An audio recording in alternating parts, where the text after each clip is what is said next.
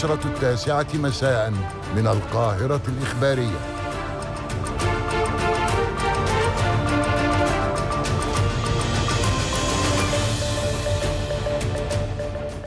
التاسعة مساء بتوقيت القاهرة. هذه نشرة إخبارية جديدة تأتيكم من عاصمة الخبر. وإلى أبرز العناوين. الكرملين يرفض سقف سعر الغاز الذي أقرته أوروبا. بوتين يؤكد من مانسك دعم بيلاروسيا في تطوير أسلحة جديدة ومشروعات الطاقة النووية.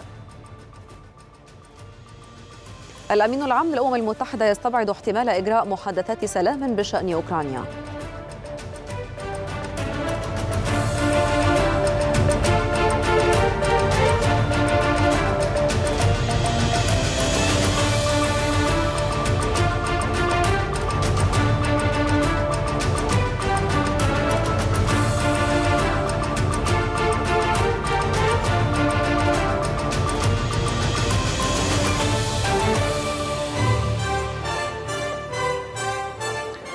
والبدايه اذا مع ملف أزمة الطاقة في أوروبا.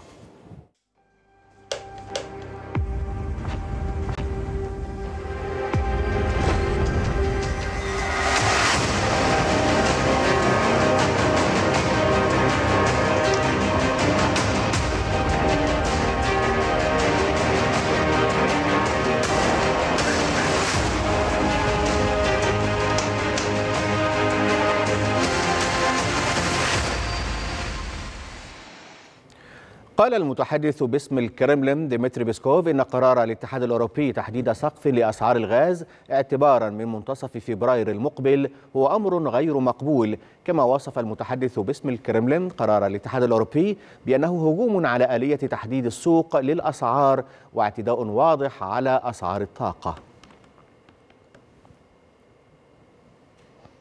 وكانت الرئاسة التشيكية للاتحاد الأوروبي كشفت عن التوصل إلى اتفاق بشأن وضع سقف لأسعار الغاز ووافق دور الاتحاد الأوروبي خلال اجتماع لوزراء الطاقة على 180 يورو لكل ميجا وات لكل ساعة تشغيل كحد أقصى مضيفة أن هذا الحد يدخل حيز التنفيذ في الخامس عشر من فبراير المقبل.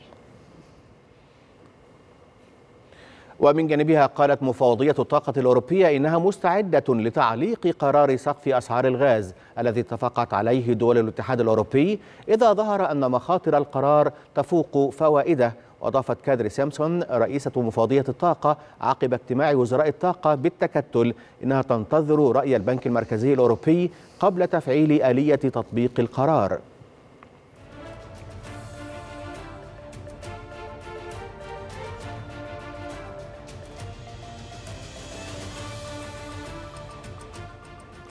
كان وزير الخارجية المجري بيتر سيزيغارتو قال إن بودابست لن تضطر إلى إخطار المفوضية الأوروبية أو التشاور معها إذا كانت تريد تعديل عقد الغاز طويل الأجل مع روسيا بعد الموافقة على حد أقصى لسعر الغاز على مستوى أوروبا. وأضاف سيزغارتو أن المجر ما زالت تعارض قرار أوروبا وضع حد أقصى لسعر الغاز الروسي. كان من المهم بالنسبة إلينا في ظل وجود هذا المقترح الأوروبي السيء الخاص بتحديد سقف لسعر الغاز أن تكون لنا حرية تعديل عقدنا مع روسيا أي أننا لا نحتاج إلى التشاور مع المفوضية الأوروبية حول التعديلات على العقد طويل الأجل مع روسيا. المزيد من المتابعة حول ملف أزمة الطاقة مع الزميلة رغدة منير. رغدة. شكرا لك أحمد وآية وأهلا بكم من ينضم إلي عبر سكايب من العاصمة الروسية موسكو الدكتور محمد أبو العز الكاتب والمحلل السياسي. دكتور محمد أهلا بك على شاشة القاهرة الإخبارية. أي انعكاسات لهذه الخطوة الأوروبية على موسكو من تحديد سقف لسعر الغاز؟ وهل كانت روسيا تتوقع هذه الخطوة خاصة وأنها جاءت بعد اختلاف وخلاف أوروبي كبير لأربعة أشهر مضت اولا مساء الخيرات. نحن أمام عقوبة أخرى قد تضر أكثر بالاتحاد الأوروبي أو على فارضها مما ستضر على روسيا نفسها. فكالعادة ونحن نرى يمكن من منذ قبل بدء العمليات العسكرية الروسية في أوكرانيا أن الغرب يفرض عقوبات على روسيا تضر بالغرب نفسه ولا تضر بروسيا.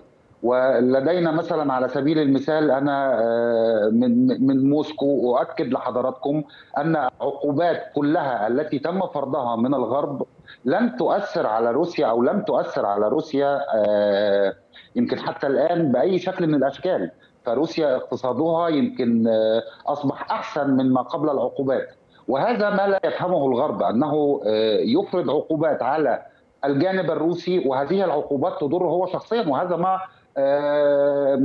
قالته المفوضية الطاقة الأوروبية أن في الغالب تستطيع أن تجميد هذا سقف السعر للغاز الطبيعي إذا ثبت أنه سيضر بأوروبا. وهذا أكيد يعني بدون نقاش فأوروبا تعتمد على الغاز الطبيعي الروسي بنسبة 45% من إجمالي الغاز الروسي أو الأوروبي التي تستخدمه أوروبا كلها. هذا ما كان في الماضي دكتور محمد الآن ربما وصلت إمدادات الطاقة الروسية لأوروبا إلى مستوى ربما ما دون العشرة بالمئة. إذا ما الخيارات المتاحة الآن أمام موسكو التي حتى هذه اللحظة لم تعلن ردها بشأن وضع السقف لسعر النفط المنقول بحرا والذي حدد بستين دولارا للبرميل؟ وبالتالي نتوقع من موسكو أن يكون لها رد أيضا فيما يخص مسألة وضع السقف لسعر الغاز. بالطبع طبعا روسيا تعد هذا الرد حتى من قبل فرض الاتحاد الأوروبي لهذا لسقف السعر على الغاز الطبيعي. فهي الآن تحاول وتبدأ في إنشاء أو ستبدأ في إنشاء خط سيبيريا 2 أو السيل الشمالي 2 والذي سيذهب إلى الصين. الآن هناك خط يذهب إلى آسيا ولكن لا يعمل بطاقته القصوى وحينما هذا سيبيريا سيبيريا واحد وحينما يعمل يصل إلى طاقته القصوى سيصل إلى الصين بنسبة حوالي 24% من حقل رمال المتواجد في سيبيريا. و الخط السيل الشمالي اثنين عندما يبدأ بالشغل وهذا بالعمل وهذا تقريبا كما صرحت روسيا أنه سيبدأ العمل في غضون من خمس إلى ست سنوات تقريبا. هذا أول خيار بالنسبة لروسيا. الخيار الثاني هو طبعا مشروع مركز الغاز التركي. حتى الآن لا نعلم من ما ماذا سي سيفعل الاتحاد الأوروبي تجاه هذا المركز المزعم إطلاقه قريبا بين روسيا وتركيا. طيب دكتور محمد الرئيس الروسي فلاديمير بوتين أيضا على هامش زيارته إلى بيلاروسيا ولقائه بلوكاشينكو قال إن موسكو ستعمل مع بيلاروسيا على تطوير مشروعات للغاز ما آفاق هذا التعاون الروسي البيلاروسي في مجالات الطاقة تحديدا؟ أعتقد أن روسيا بيلاروسيا لن أو أو لم تكون الشريك القوي بالنسبة لروسيا خاصة في الغاز والنفط. فهي يعني إنتاجها من الغاز قليل واحتياجها للغاز أيضا قليل. فهي دولة قليلة صغيرة جدا بالنسبة لاحتياجات الغاز والفائض وفائض الغاز الكبير جدا الذي خلفه الاتحاد الأوروبي بروسيا. فيعني إذا تم طبعا الشراكة وهي الآن موجودة ولكن لن تفيد روسيا بالقدر المطلوب. فروسيا تتطلع إلى الصين تتطلع إلى الهند. طبعا الصين نعلم أنه أكبر مستورد للغاز الطبيعي ويتزايد كم الاستيراد للغاز الطبيعي بالنسبة لروسيا بنسبات ملحوظة جدا كل عام.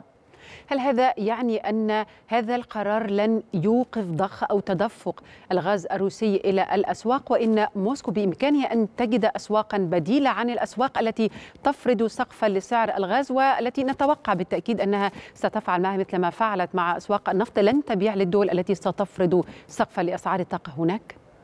مثله مثل النفط بالضبط. فروسيا الآن تصدر النفط إلى الصين والهند.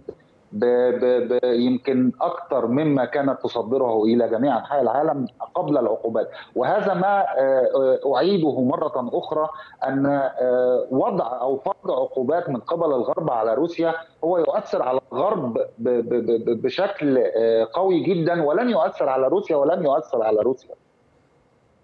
إذا إذا كان إذا كان الأمر كذلك لماذا تأخر الأوروبيون في التوافق على هذه الخطوة لأربعة أشهر مضت دكتور محمد وأيضا هل هذا يؤكد ما قالته سامسون مفوضة الطاقة الأوروبية بأن هذا القرار ربما يتم تعليقه فيما بعد؟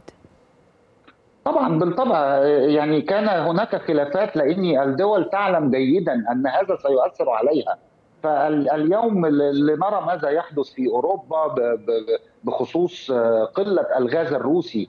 فكثيرا من المصانع أغلقت أبوابها وكثيرا والآن هم في حالة شديدة جدا من التقشف بالنسبة لاستخدامات الغاز والنفط. لأني بالطبع يعني أكرر أن أوروبا كانت تستخدم أكثر من 45% من الغاز من روسيا كانت تستورد أكثر من 45% من استخداماتها ككل بالنسبة للغاز الطبيعي كانت تستخدمها تستوردها من روسيا. الآن يعني أعتقد وصل إلى 10% وهذا عن طريق طبعا الخط الوحيد العامل في الوقت الحالي عن طريق أوكرانيا. نعم. شكرا لك من موسكو كنت معنا عبر سكايب دكتور محمد أبو العز الكاتب والمحلل السياسي. إذا هذه عودة مرة أخرى إلى زميلي أحمد بشتو وآية لطفي لاستكمال ما تبقى من ملفات في هذه النشرة. تفضل. شكرا رغدة. إذا الآن مع تطورات الأزمة الأوكرانية على باقي الأصعدة.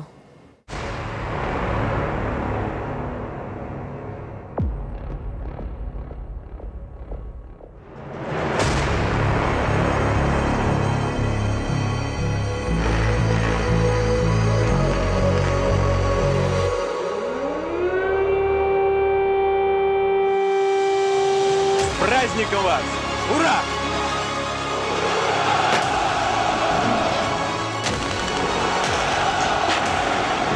Тридцять восемь років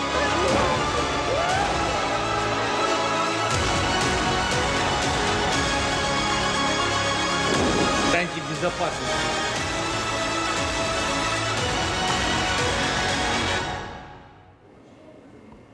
قال الرئيس الروسي فلاديمير بوتين أن بلاده ستعمل مع بيلاروسيا على تطوير أسلحة ومعدات عسكرية جديدة بالتزامن مع استمرار التدريبات العسكرية بين البلدين. أوضح بوتين في مؤتمر صحفي مشترك مع رئيس بيلاروسيا بمانسك أوضح أن البلدين سيعملان على بناء دول الاتحاد مؤكدا استعداد موسكو لتطوير الطاقة النووية السلمية في بيلاروسيا. كما أضاف بوتين أن التبادلات التجارية مع بيلاروسيا ارتفعت وبشكل كبير خلال الأشهر الماضية مشيرا إلى أن عددا من أعداء موسكو لا يريدون التعاون والتكامل الاقتصادي مع مينسك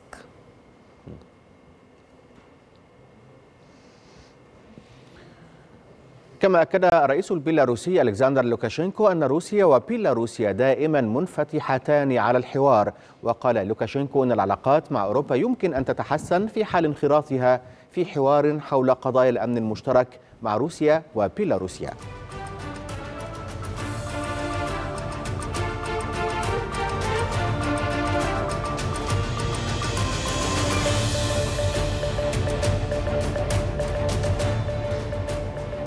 قال وزير الدفاع الإيطالي غايدو كروساتو أنه يتعين على الاتحاد الأوروبي تقديم تعويضات مالية للدول التي ساعدت أوكرانيا عسكريا. وقال كروساتو إن إيطاليا ساعدت أوكرانيا بشكل كبير مما تسبب في نقص بمخزون الأسلحة لديها ولدى عدة دول داخل أوروبا.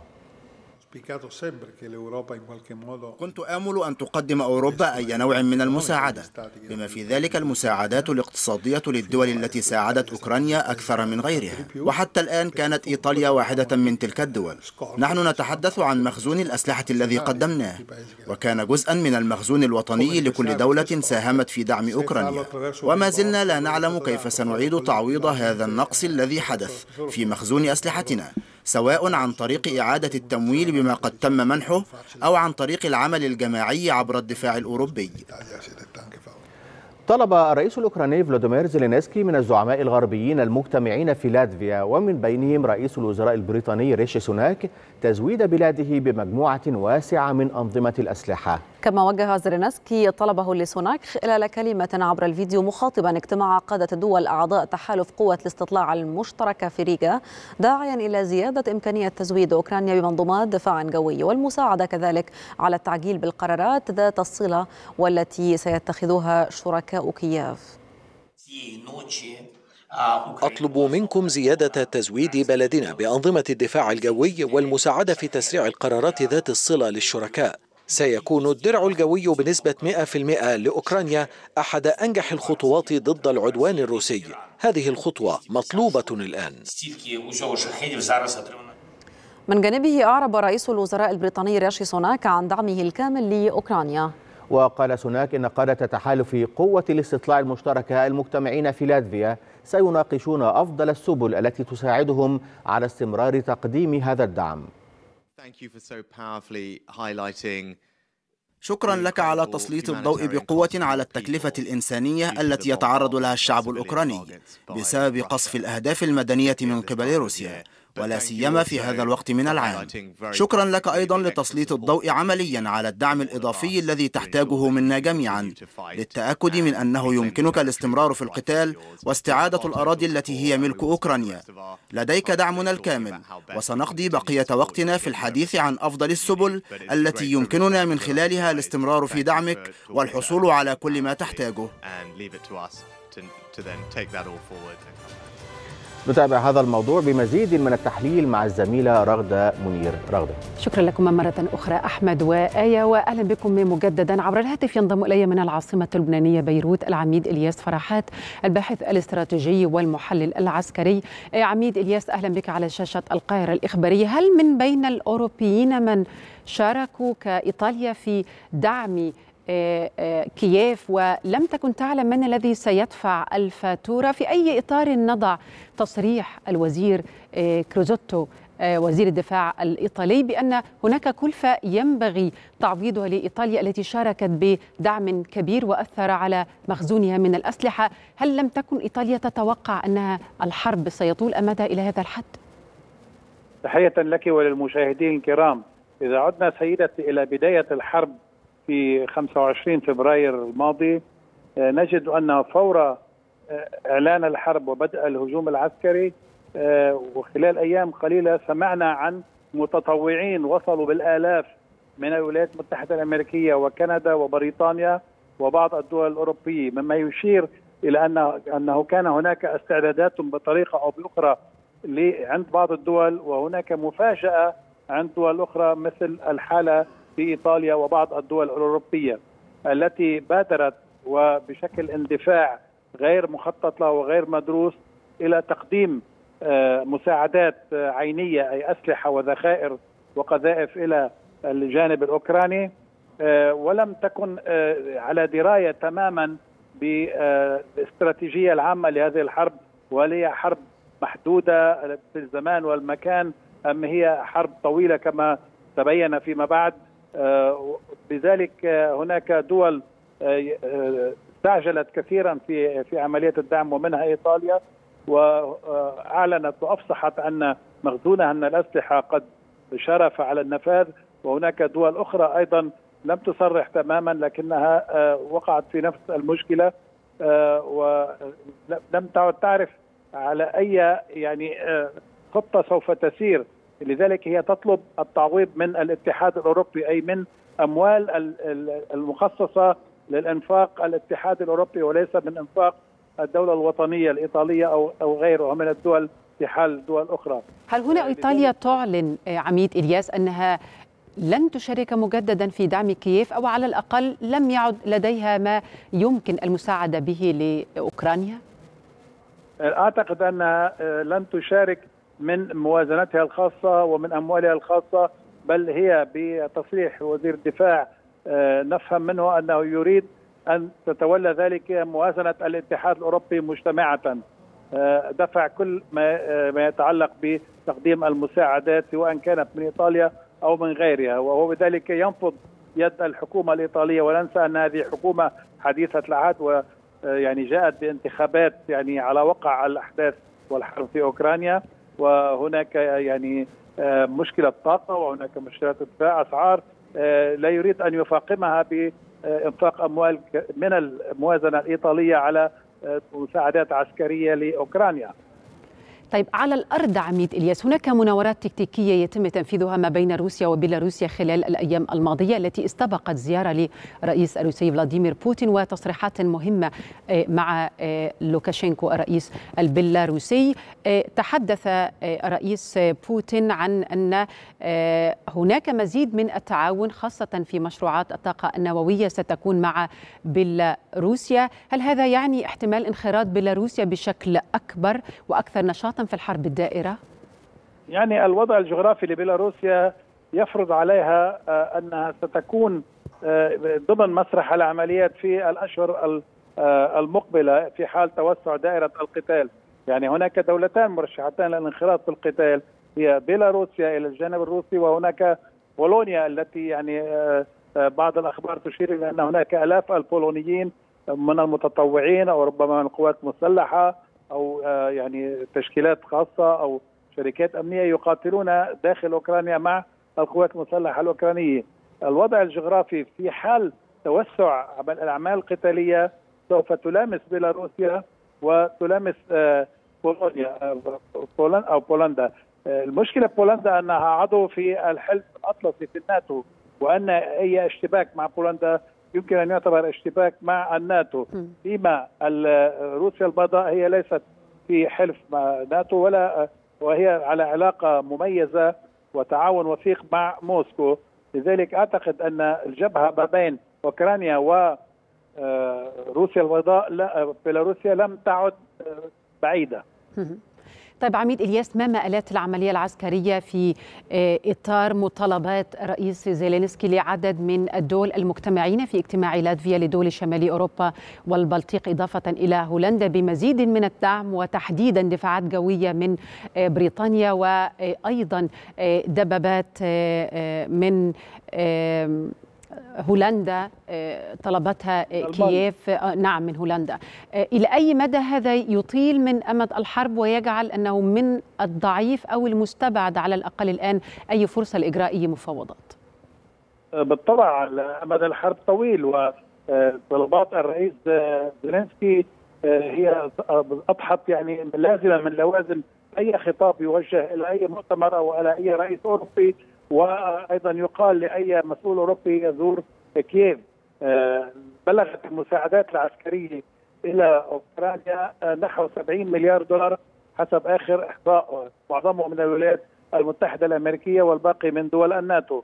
وهناك يعني طلب بمزيد من المساعدات وخصوصا في مجال الدفاع الجوي للتصدي للطائرات من دون طيار أو للصواريخ الكروز الروسية التي تقصف أهداف حيوية داخل أوكرانيا وحتى الآن يعني الدفاعات الجوية الأوكرانية لم تزل عاجزة عن التصدي للهجمات الجوية الروسية ولذلك هناك مشكلة كبيرة في المرافق الحيوية الأوكرانية التي بدأت تتعرض لانهيار كبير وخصوصا في قطاع الكهرباء نعم. وقطاع المياه نعم.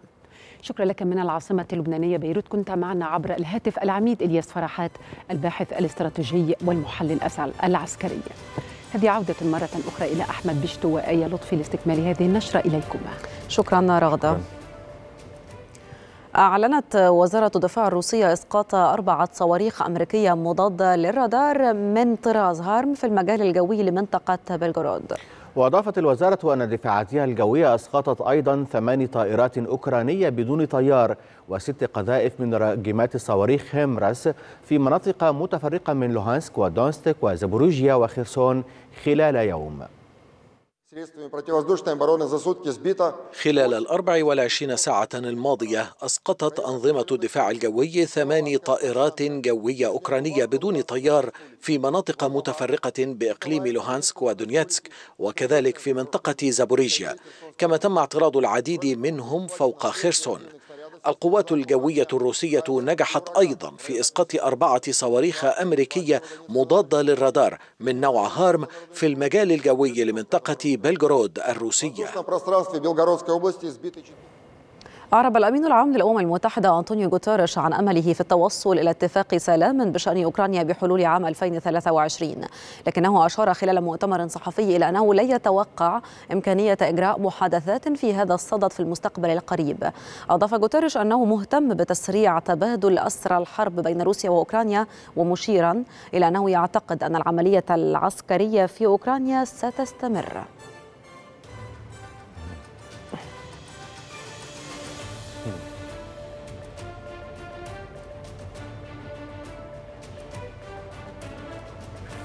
ونشرتنا مستمرة على شاشة القاهرة الإخبارية عاصمة الخبر وفيها بعد الفاصل.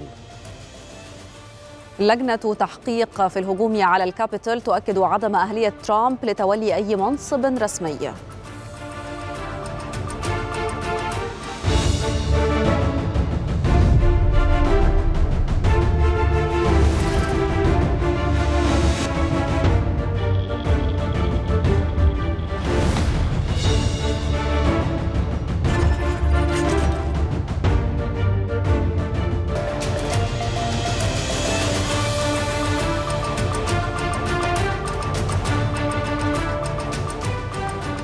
أهلا بحضراتكم من جديد اوصت لجنة التحقيق في الهجوم على مبنى الكابيتول بتوجيه اتهامات جنائية إلى الرئيس الأمريكي السابق دونالد ترامب.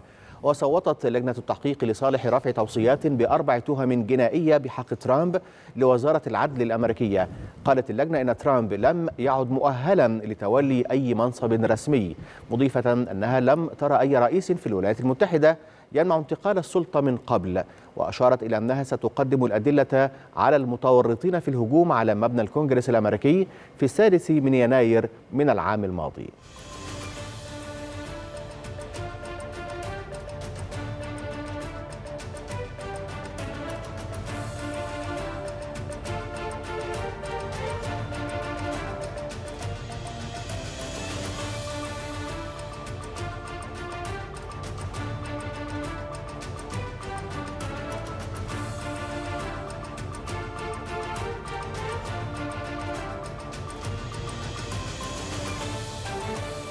الآن وقفة تحليلية جديدة حول هذا الموضوع مع الزميلة رغدة منير. رغدة. شكرا آية وأحمد وأهلا بكم من جديد. أذهب إلى واشنطن وينضم إلي رامي جبر مراسل القاهرة الإخبارية. رامي أهلا بك. إذا ماذا لديك في التفاصيل بشأن ما ورد في تقرير لجنة التحقيق في أحداث الكابيتول؟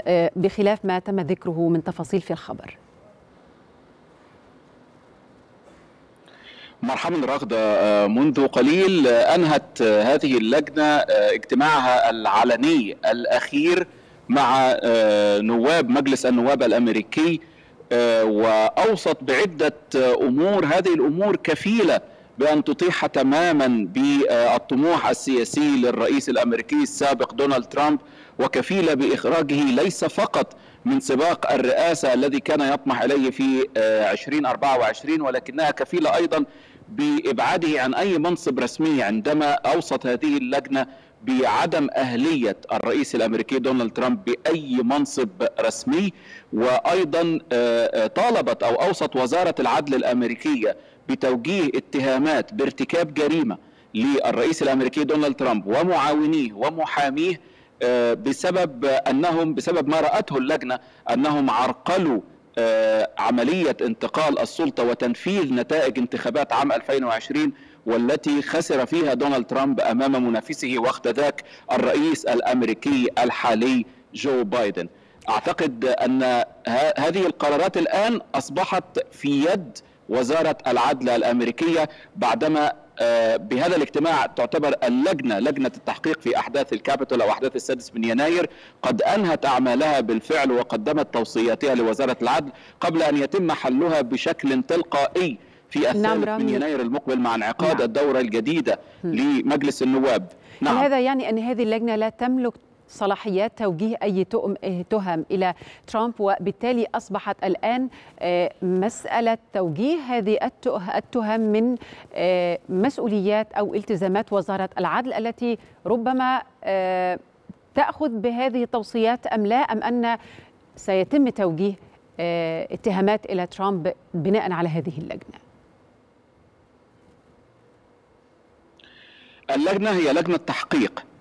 ولجنة التحقيق ليس من حقها أن تصدر قرارات خاصة وأنها ليست جهة تنفيذية هي فقط جهة تحقيق ولكنها قدمت توصيات وهذه التوصيات ربما لن تكون لها قوة إلزام القانون ولكنها في النهاية توصيات مهمة قد تم التوصل إليها بعد ربما عامين من البحث والاستجوابات وجلسات الاستماع.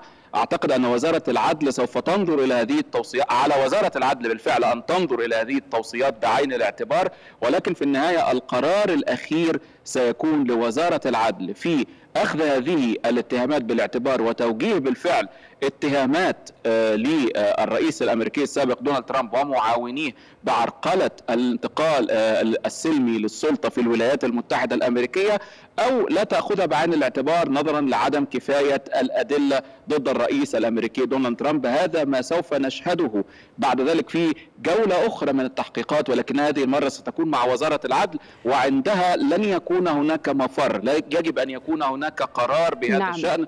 وهذا القرار سوف يتوقف عليه المستقبل السياسي للرئيس الأمريكي دونالد ترامب. هل من رد فعل لدونالد ترامب رامي سواء على التوصيات الأخيرة أو حتى من قبل مع بدء عمل هذه اللجنة خاصة وانها قامت باستدعائه ولكنه امتنع عن الإدلاء بشهادته أو التجاوب مع هذه اللجنة؟ صحيح كما ذكرت رغدة هو بالفعل لا يعترف باللجنة ولا يعترف بعمل اللجنة ويرى أنه لديه حصانة قانونية تمنعه من الاستجواب أمام هذه اللجنة أو من الاستدعاء للشهادة أمام هذه اللجنة وقد رفض بالفعل أكثر من مرة الإدلاء بشهادته أمام هذه اللجنة. نعم. وهو لم يصدر منه رد فعل حتى الآن على القرارات الأخيرة نظرا لأنه صدر منذ ربما أقل من ربما دقائق يعني صدر هذا صدرت هذه التوصيات. ولكن ردود أفعاله السابقة تدل على ما سيقوله ولا يعترف بعمل اللجنة. ويرى أن هذه اللجنة كما وصفها من قبل هي مطاردة ساحرات. حسب التعبير الذي استخدمه الرئيس الأمريكي السابق دونالد ترامب مفهوم. وأن هذه اللجنة غير ملزمة له وأن لديه حصانة من الإدلاء بالشهادة وبالتأكيد سيكون لدى محاميه أيضا أو محاميه رأي آخر عندما تبدأ وزارة العدل تحقيقاتها بهذا الصدد. شكرا لك كنت معنا مباشرة من واشنطن رامي جبر مراسل القاهرة الإخبارية.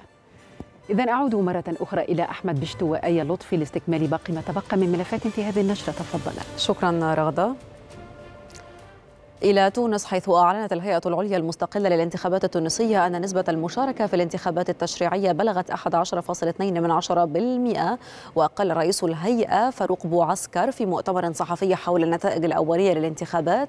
إن أكثر من مليون ناخب شاركوا في هذا الاستحقاق من بين ما يتجاوز 9 ملايين لهم حق التصويت. كما كشف عن تسجيل 1763 مخالفة انتخابية بينها ممارسة أنشطة غير مصرح بها وعدم احترام الصمت الانتخابي واستخدام الأطفال لأغراض دعائية.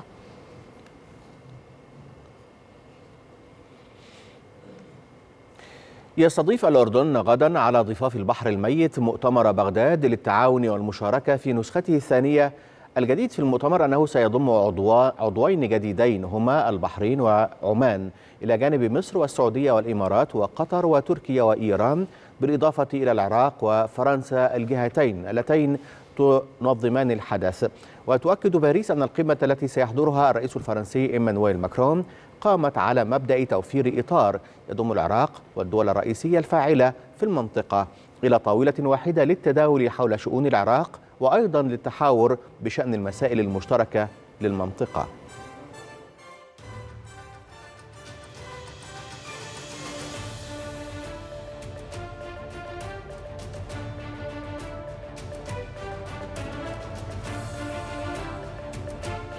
المزيد من المتابعة حول مؤتمر بغداد للتعاون والمشاركة نجده مع الزميلة رغدة منير. رغدة إليك شكرا أحمد وآية وأهلا بكم من جديد من البحر الميت. موفد القاهرة الإخبارية زميل أحمد أبو زيد ينضم إلينا مباشرة. أحمد أهلا بك. إذا ما جديد القمة المقبلة غدا إن شاء الله في المملكة الأردنية؟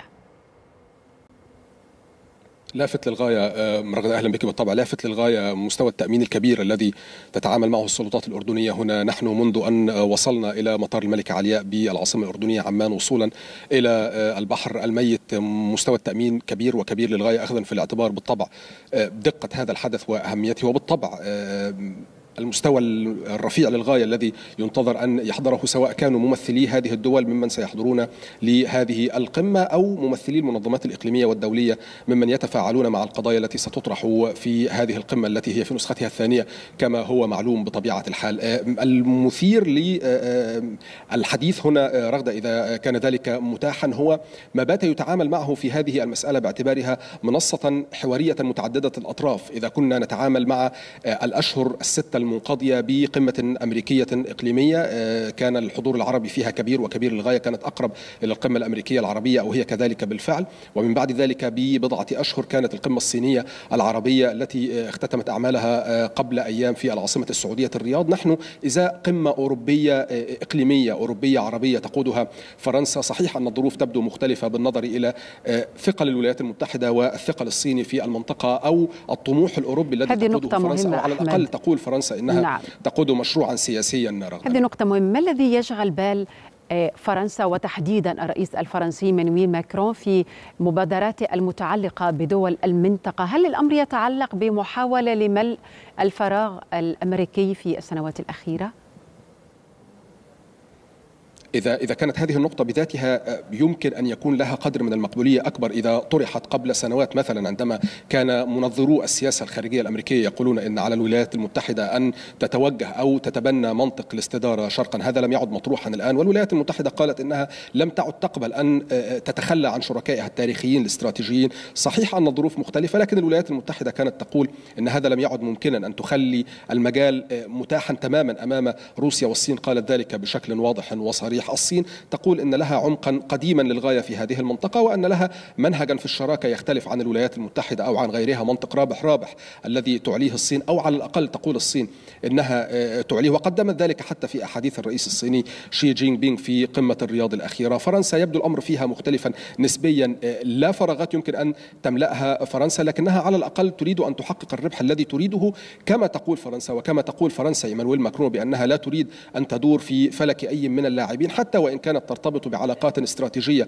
وعلاقات متينة للغاية حتى في ضوء التغيرات الجيوسياسية الكبيرة التي تشهدها أوروبا على خلفية الصراع الدائر في أوكرانيا. لكن لفرنسا أهداف أساسية قالتها في زيارة الرئيس إيمانويل ماكرون إلى العاصمة الأمريكية واشنطن. أمن الطاقة مهم للغاية السياسات الحمائية الكبيرة التي باتت تفرض على البضائع الفرنسية والبضائع الأوروبية في عمومها. أصبحت مسألة مقلقة لمعدلات التضخم ولضآلة حجم التجارة البينية بين فرنسا وبين الشركاء القدامى لكن على الأقل قضية الطاقة هي قضية أساسية ومحورية ولا تخفيها فرنسا بالمناسبة. لا في زيارتها زيارة الرئيس إيمانويل ماكرون إلى واشنطن ولا في زيارة إيمانويل ماكرون إلى العاصمة القطرية الدوحة نعم. مثلا وهو يحضر نهائي كأس العالم لكرة القدم ولا يخفيها إيمانويل ماكرون حتى في حديثه عن قمة بغداد للتعاون والشراكة.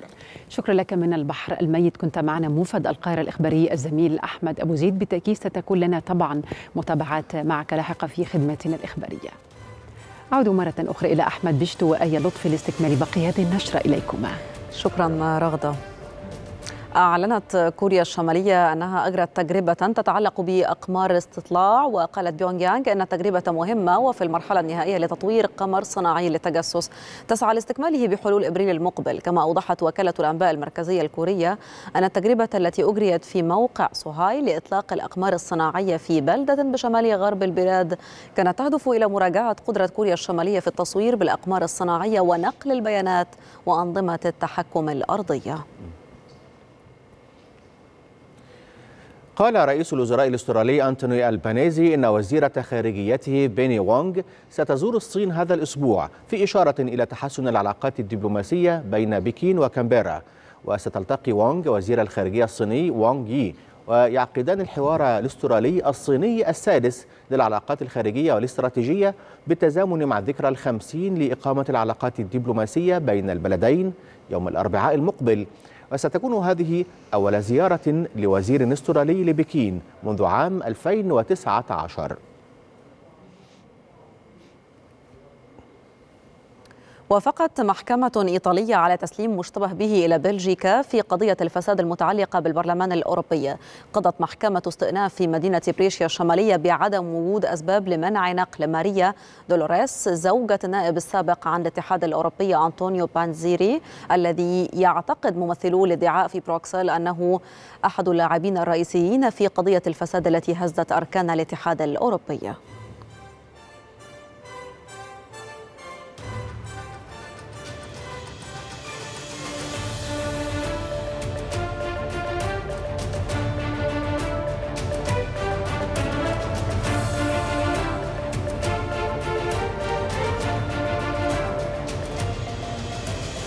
مرة أخرى إلى زميلة رغدة منير ومتابعة لهذا الموضوع. رغدة. سنعلم الآن أحمد هذه التفاصيل عندما نذهب إلى بروكسل ومراسلنا سلامة عطلة مراسل القاهرة الإخبارية. سلامة أهلا بك. إذا ماذا لديك في التفاصيل بشأن قرار المحكمة الإيطالية بتسليم مشتبه به في قضية الفساد المتعلقة بالبرلمان الأوروبي إلى بلجيكا؟ مساء الخير. القضاء البلجيكي كان قد طلب من إيطاليا قبل أسبوعين تقريبا بأن يحتجز زوجة وابنة النائب السابق في البرلمان الأوروبي والرئيس السابق للجنة حقوق الإنسان في البرلمان الأوروبي أنطونيو بنزيري بتهمة الذي محجوز الآن ومعتقل الآن بتهمة الفساد إلى جانب نائبة رئيس البرلمان الأوروبي.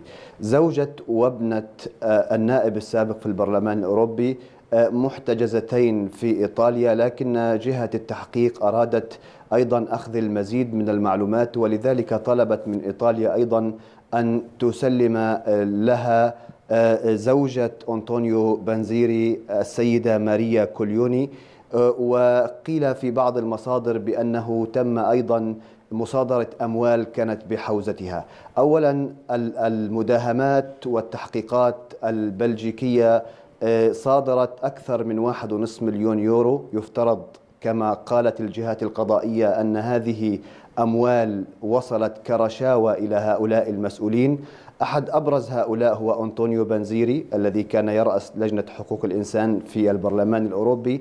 وهناك اتهامات أيضا له بغسيل الأموال وإضافة إلى الفساد. ولذلك لاستكمال الإجراءات في هذا التحقيق الذي هز أركان المؤسسات الأوروبية وتحديدا البرلمان الأوروبي ستأتي زوجة النائب أنطونيو بنزيري إلى بلجيكا لاستكمال التحقيقات. إذا ما ثبت بأنها ساعدت زوجها في غسيل الأموال في إخفاء هذه الأموال غير الشرعية التي رصدت معه والتي أيضا صودرت منه والتي قيل بأنها رشاوى يمكن أن تحاكم بخمس سنوات سجن على الأقل إذا ما ثبتت ثبت بأنها متورطة فعلا بمساعدة زوجها في إخفاء وغسيل الأموال غير الشرعية أو التي أتت كرشاوى من دولة عربية. نعم هي قضية مثيرة ومليئة بالمفاجآت على ما يبدو. شكرا لك من بروكسل سلامة عطلة مراسل القاهرة الإخبارية.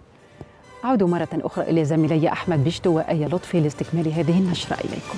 شكرا لك رغدة على جميع هذه الوقفات التحليلية. إذا صوت مستخدمو تويتر في استطلاع للرأي أطلقه إيلون ماسك للتنحي عن منصب الرئيس التنفيذي للمنصة في رد فعل عنيف ضد الملياردير بعد أقل من شهرين من توليه المنصب. صوت حوالي 57.5% بنعم بينما عارض 42.5%